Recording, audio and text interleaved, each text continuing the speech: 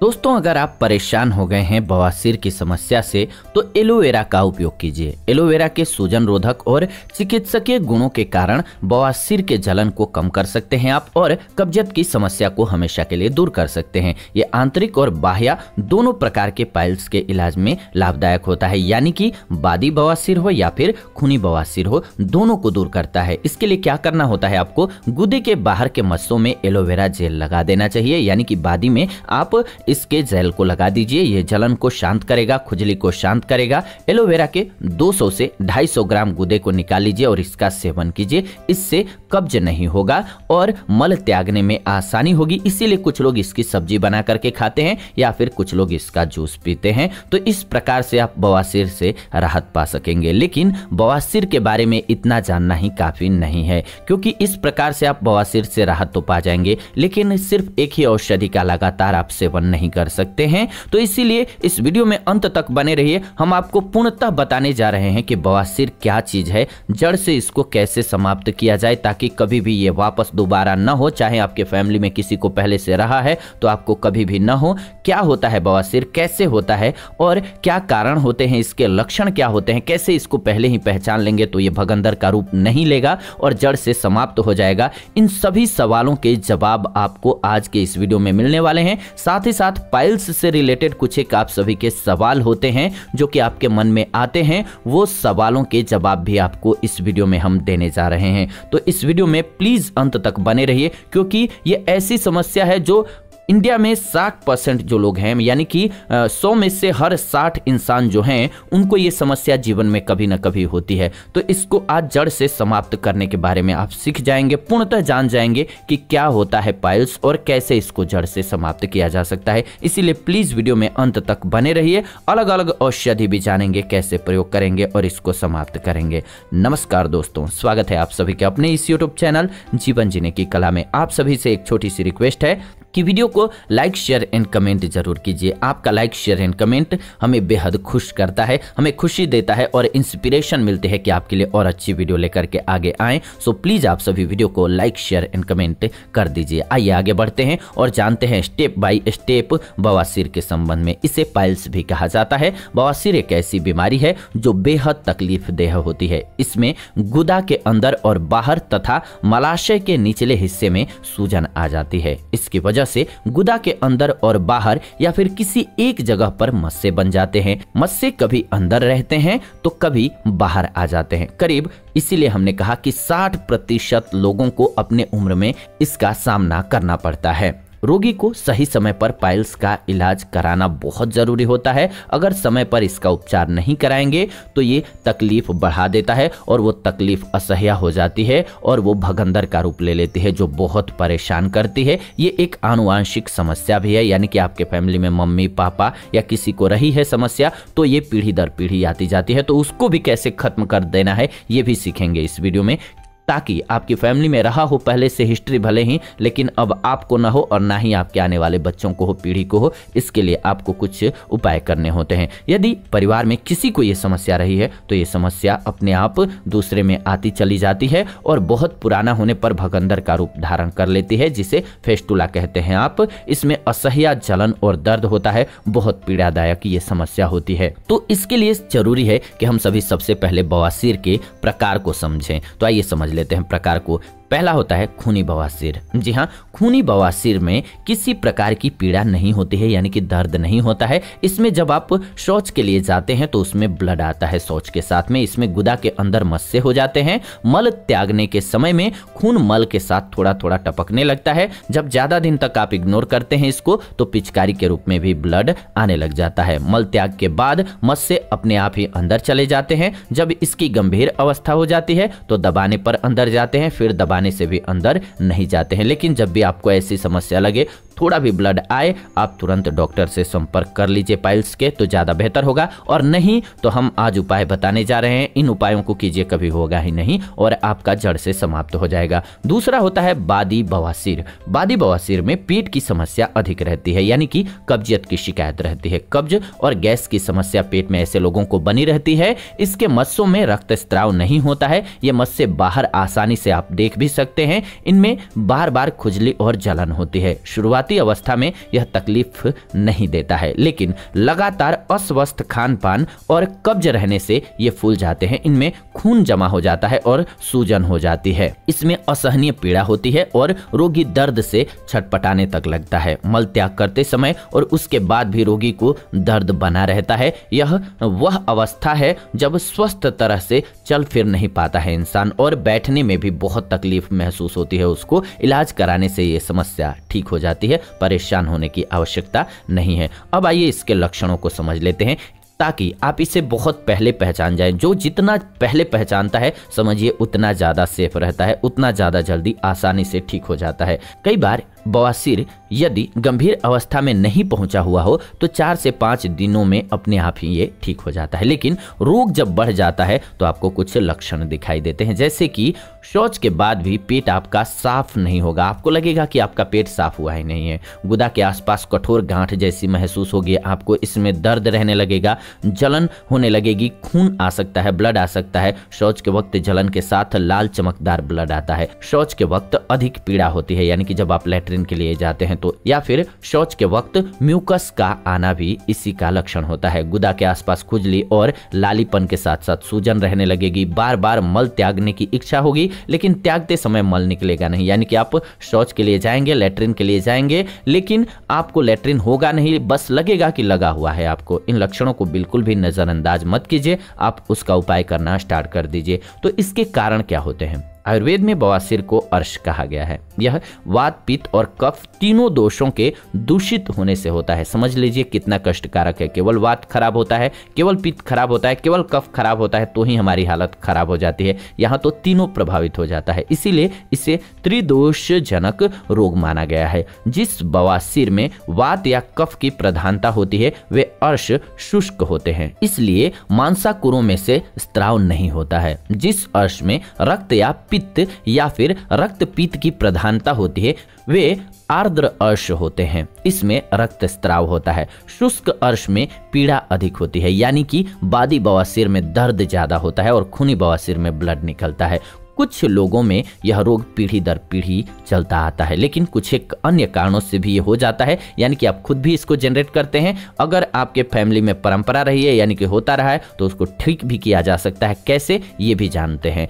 कुछ व्यक्तियों को अपने रोज़गार की वजह से घंटों खड़े रहना पड़ता है, जैसे कि बस कंडक्टर, ट्रैफ़िक पुलिस, इन सभी को बहुत ज़्यादा देर खड़ा रहना पड़ता है, इसलिए ये समस्या उनको हो जाती है। इसके साथ ही जिन्हें भारी वज़न उठाना पड़ता है, जिन लोगों को बवासीर से पीड़ित होने की अधिक संभावना रहती है। वो यही लोग हैं। इन लोगों को विशेष ध्यान रखना चाहिए अपने खाने पीने का।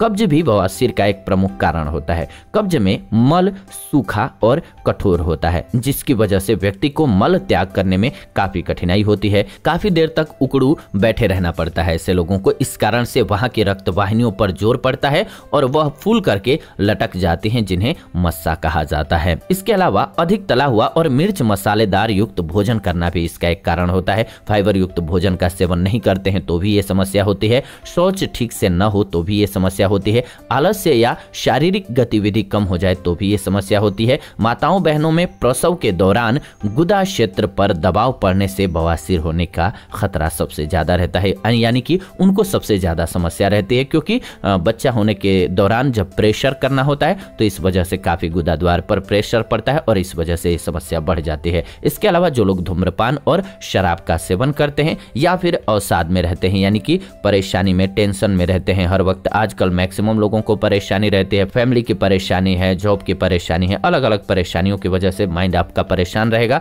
तो आपका पूरा जो शरीर है वो प्रभावित होता है इससे और बवासीर इसकी वजह से भी हो जाता है। तो अब आइए समझ लेते हैं, बवासीर और भगंदर में अंतर, फिर समझेंगे इस बीमारी को जड़ से समाप्त करने के तरफ़ बढ़ करके कि कैसे जड़ से समाप्त किया जाए इस बारे में। बवासीर में गुदा और मलाशय के निचले भाग की रक्तवाहिनियों में सूजन आ जाती है। ऐसा लंबे समय तक कब्ज और शौच में अत्यधिक समय तक बैठे रहने से होता है। इसके अलावा मोटापा या गर्भवती महिलाओं में भी यह होने का खतरा रहता है। इसमें गुदा या मलाशय में मस्से बन जाते हैं, जिसके फूटने पर इनसे खून निकलता है और दर्द होता है। भगंदर में मत्स्य नहीं होते हैं। भगंदर में एक घाव युक्त नली बन जाती है, जो गुदा नलिका तथा गुदा के बाहर की त्वचा में होती है। भगंदर उन लोगों में होता है जिनके मल द्वार के पास कोई फोड़ा हो जाता है। फोड़े में कई मुँह बन जाते हैं। ऐसे में यदि रोगी व्यक्ति उससे छेड़छाड़ करता है तो भगंदर हो जाता है। यानी कि आपके मल द्वार पर कोई फोड़ा होता है, उसको फोड़ते हैं, आप बहुत ज़्यादा उसको छेड़ते हैं तो भगंदर की समस्या हो जाती है, क्योंकि वो घाव ठीक नहीं होता है, नासुर बन जाता है। इसमें से खून और मवाद लगातार बहने लगता है, निकलने लगता है। शुरुआती अवस्था में इसमें मवाद और खून की मात्रा कम होती है, इसीलिए इससे रोगी के वस्त्रों में केवल दाग मात्र लगता है। लेकिन धीरे धीरे रिसाव बढ़ता जाता है और रोगी को खुजली, बेचैनी और दर्द असहनीय होने लग जाता है और फिर वो परेशान हो जाते हैं। तो आइए अब जानते हैं कि इसको जड़ से कैसे समाप्त करना है। जड़ से समाप्त करने के लिए क्या करना है? हमने आपको पहला प्रयोग तो बता दिया है। सबसे पहले ही इसीलिए बताया आपको कि आप उसका बेस्ट तरीका है कि उपयोग कीजिए एलोवेरा का और उससे जड़ से समाप्त कर लीजिए। नहीं तो अब आइए जानेंगे इसको अलग अलग करके कि किसी को बादी है, किसी को खूनी है तो उसको दूर कैसे करना है। सेब का सिरका इसमें बहुत फ़ायदेमंद है। सेब का सिरका अपने कषाय गुणों के कारण रक्त वाहिनियों को सुकोड़ने में मदद करता है। खूनी बवासीर में एक गिलास पानी में सेब के सिरके का एक चम्मच डाल करके दिन में दो बार पीना चाहिए। बादी बवासीर में सेब के सिरके में रुई भिगो करके गुदा में रखना चाहिए। इससे जलन और खुजली से से राहत मिल जाती है और सेवन भी करना चाहिए। बवासीर के उपचार के लिए आप जैतून के तेल का भी उपयोग कर सकते हैं। जैतून के तेल में सूजन ठीक करने वाले गुण होते हैं। यह रक्त वाहिकाओं में आई हुई सूजन को कम करता है। जैतून के तेल को बादी बवासीर के मस्सों पर लगाना ज़्यादा लाभकारी रहता है। किसी को अगर बादी है तो वो जैतून के तेल का उपयोग करें। शुद्ध बादाम के तेल में रुई को अगर आप डुबो देते हैं, इसके बाद बादी बवासीर के मस्सों पर लगाते हैं तो ये सूजन और जलन को कम करता है और राहत मिलती है। बादी बवासीर वालों के लिए ये भी अच्छा है, या फिर नारियल का तेल। जी हाँ नारियल की जटाओं को भी आप उपयोग कर सकते हैं। कैसे? नारियल की जटाओं को जला करके राख या भस्म बना लीजिए। इसे ताजे मट्ठे में मिला करके सुबह खाली पेट नियमित रूप से पीजिए। इससे दोनों प्रकार की बवासीर में आपको राहत मिलेगी। इसके अलावा ये भी नहीं है तो तीन अंजीर एक गिलास पानी में भिंगो दीजिए रात को, यानी कि शाम को, और सुबह खाली पेट इसका सेवन कर लीजिए। जितना चबाएँगे उतना ज़्यादा बेहतर है। इसके अलावा आपको एक काम और करना होगा, ऊपर से इसका पानी भी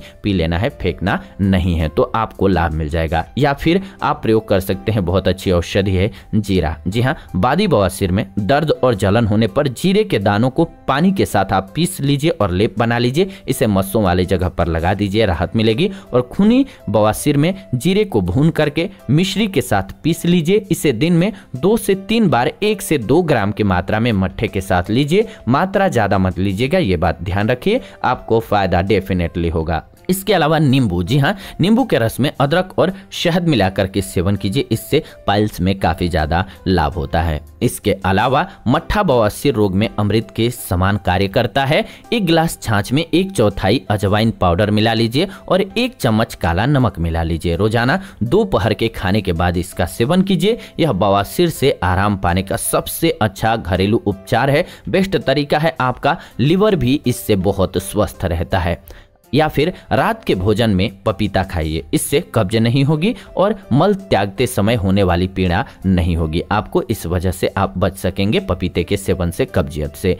पके हुए केले को उबाल लीजिए या फिर और दिन में दो बार इसका सेवन कीजिए, ये भी आपको काफ़ी फ़ायदा करेगा। मल को आसानी कर देगा बाहर आने में। इसके अलावा बाथ टब में गर्म पानी डाल करके 10 से 15 मिनट तक बैठिए। यह बवासीर के दर्द और जलन से आराम पाने का सबसे अच्छा तरीका होता है। अगर किसी को बवासीर है तो अधिक फाइबर युक्त आहार का सेवन कीजिए, जैसे कि रेशेदार फल और सब्ज़ियाँ जो छिलके के साथ इस्तेमाल किए जाते हों। इसके अलावा हर रोज सात से आठ गिलास पानी ज़रूर पीजिए। भोजन में नियमित रूप से छाछ का सेवन कीजिए। अगर आपके फैमिली में किसी को पहले से बवासीर की समस्या है तो उनको तो बिल्कुल ज़रूर करना चाहिए दोपहर में छाछ का सेवन। नियमित रूप से एक्सरसाइज प्राणायाम कीजिए। अधिक देर तक एक ही जगह पर एक ही पोस्चर में मत बैठे रहिए। आपको बैठना भी पड़ रहा है तो पोस्चर बदलते रहिए, इस बात का ध्यान रखिए। अगर आप पाइल्स का इलाज करवा रहे हैं या बवासीर से पीड़ित हैं तो कुछ चीज़ों से परहेज भी कीजिए। जैसे कि जंक फ़ूड का सेवन कम कीजिए बिल्कुल, न कीजिए तो बेहतर है। तला भुना और मिर्च मसालेदार जो भोजन होता है, उसके सेवन को कम कर दीजिए लाइफ में। या फिर बिल्कुल न कीजिए तो सबसे बेस्ट है, अगर आप बचे रहना चाहते हैं तो। अब आइए जानते हैं आपके कुछ सवालों के बारे में। यानी कि आप सभी इस संबंध में कुछ सवाल करते हैं तो वो भी हम ले लेते हैं, क्योंकि इस चैनल पर पड़ा हुआ है सवाल आपका तो वो भी हम इस वीडियो में ले रहे हैं। इसीलिए कहा कि ये डिटेल वीडियो है, पूर्णतः आपको पता चलेगा कि कैसे इसको समाप्त करना है। साथ ही साथ ये भी जानेंगे कि कैसे ये नहीं होगा अगर किसी के फैमिली रिकॉर्ड में रहा है कि होता रहा है तो। तो सबसे पहले आपके सवाल अब लेते हैं। कुछ इंपॉर्टेंट जो सवाल लगे हमें, वो ले लेते हैं। अब ये एक सवाल है, क्या बवासीर का इलाज केवल सर्जरी से संभव है?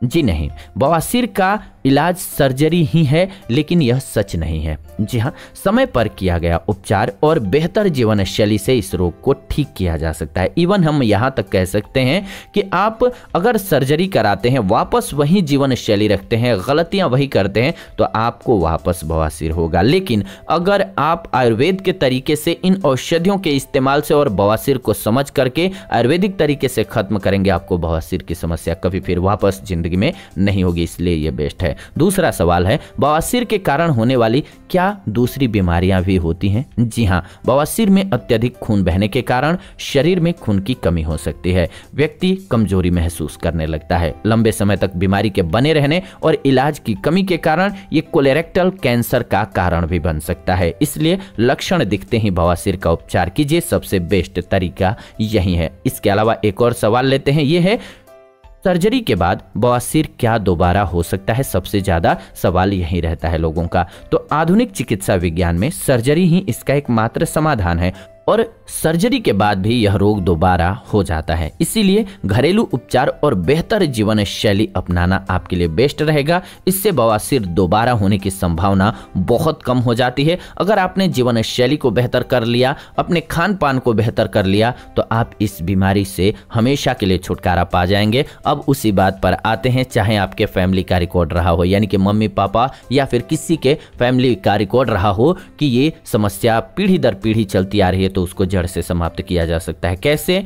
आपके जीवन शैली को बेहतर करके। कैसे करना है? ये जितनी औषधियाँ हमने आपको बताई इसको खत्म करने के लिए, इनका उपयोग आप पहले से ही स्टार्ट कर दीजिए। इसमें से बहुत सी औषधियाँ ऐसी हैं जो आपको बहुत पसंद होंगी टेस्टी होंगी। तो उनका सेवन करना स्टार्ट कर दीजिए सही तरीके से आप, बस सिंपल सी बात है। और खाने को सबसे ज़्यादा चबा चबा करके खाइए। जितना ज़्यादा चबा सके, उतना चबा करके खाने को खाइए। पाइल्स की समस्या होगी ही नहीं। कब्ज की शिकायत नहीं होगी पाइल्स की समस्या होगी ही नहीं। तो इसके लिए बेस्ट तरीका यही है कि अगर आपके फैमिली का रिकॉर्ड रहा है तो आपको करना सिर्फ़ और सिर्फ़ इतना है कि पहले से ही अपने फैमिली में आदत डाल दीजिए, बच्चों में आदत डाल दीजिए, भोजन को अच्छे से चबा करके खाएँ। और जो ये औषधियाँ हमने इसमें बताई बवासीर को खत्म करने के लिए, इनमें से कोई एक औषधि का सेवन तो हर रोज करना ही है, ये नियम में बना लीजिए। क्योंकि इनके बहुत से गुण है। आयुर्वेदिक औषधियों का फ़ायदा क्या है कि आप एक चीज़ के लिए लेते हैं, लेकिन काम अनेक हो जाता है शरीर में। फ़ायदे अनेक हो जाते हैं इसके। अलग अलग बीमारियों को दूर करने के लिए ये बेस्ट औषधियाँ हैं। तो इसलिए आपको अलग अलग फ़ायदे मिल जाते हैं। तो इनमें से किसी न किसी एक चीज़ का उपयोग हर रोज करना है, ये नियम बना लीजिए, आपको लाभ शर्तिया होगा और कभी भी बवासीर की शिकायत नहीं होगी। लेकिन फिर भी अगर आपको कुछ कंफ्यूजन रह गई है, कुछ समझ में नहीं आया है, या फिर आपको कुछ और जानना है डिटेल में तो कमेंट्स के माध्यम से लिख भेजिए। हम आने वाले दिनों में आपके उस सवाल को वीडियो में लेकर के आएँगे और उस पर भी वीडियो बना देंगे ताकि आपको पूर्णतः उस बारे में समझ में आ जाए, आपकी प्रॉब्लम सोल्व हो जाए। तो ये आज की वीडियो रही। ऐसी ही नई वीडियो इस चैनल के माध्यम से हम लेकर के आते रहते हैं। तो नई वीडियो के लिए चैनल को सब्सक्राइब करके बेल नोटिफिकेशन को ऑन कर लीजिए, ताकि नई वीडियो जब भी हम लाएँ नोटिफिकेशन आपको सबसे पहले मिले। साथ ही साथ वीडियो को लाइक शेयर एंड कमेंट ज़रूर कीजिए। आपका लाइक शेयर एंड कमेंट हमें इंस्पायर करता है कि आपके लिए और अच्छी वीडियो लेकर के आएँ और बेहतरीन वीडियो लेकर के आएँ जो आपके पूरे जीवन काम आए। सो प्लीज़ वीडियो को लाइक शेयर एंड कमेंट कर दीजिए। फ़िलहाल विदा लेते हैं आज की इस वीडियो से। जुड़ेंगे नई वीडियो में। तब तक आप सभी खुश रहें, स्वस्थ रहें। धन्यवाद। नमस्कार।